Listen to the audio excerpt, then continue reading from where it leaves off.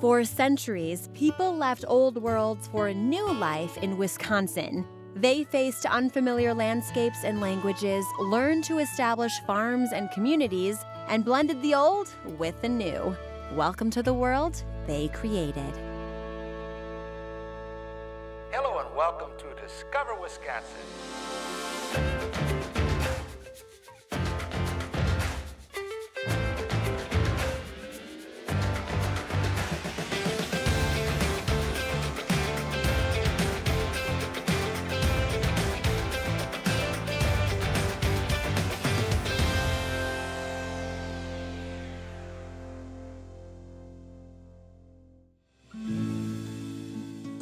What better way to understand how our ancestors lived than to get up close and personal with some of the spaces and activities they encountered in the 18 and 1900s?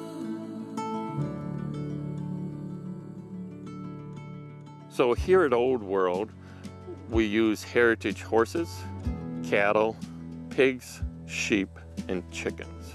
What's nice is working with heritage animals are these are the animals that they would have had back in the 1800s.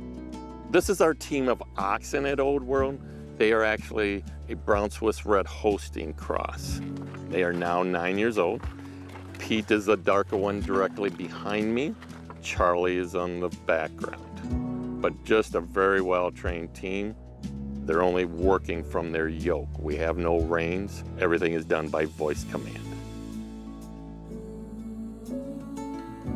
While men were busy in the fields, Women were hard at work in the front of the house.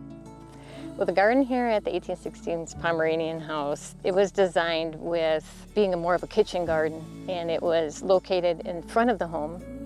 The woman of the house usually is the one who took care of the garden areas, and she spent most of her time out in the garden.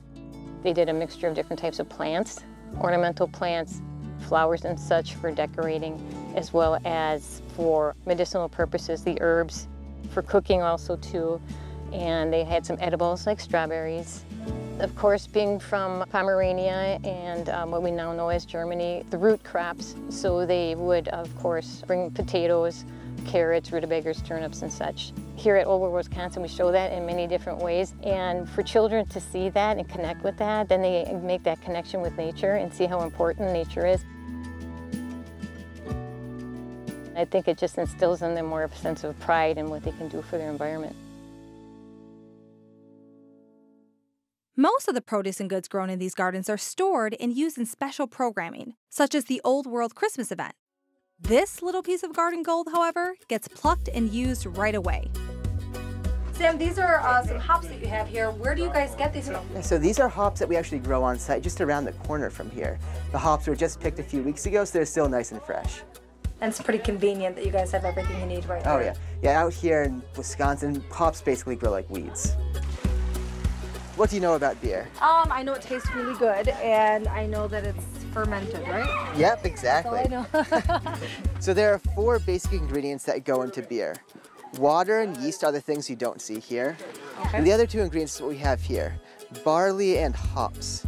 So when barley starts out, it's like this. Just a grain here. Okay. But that's not very usable.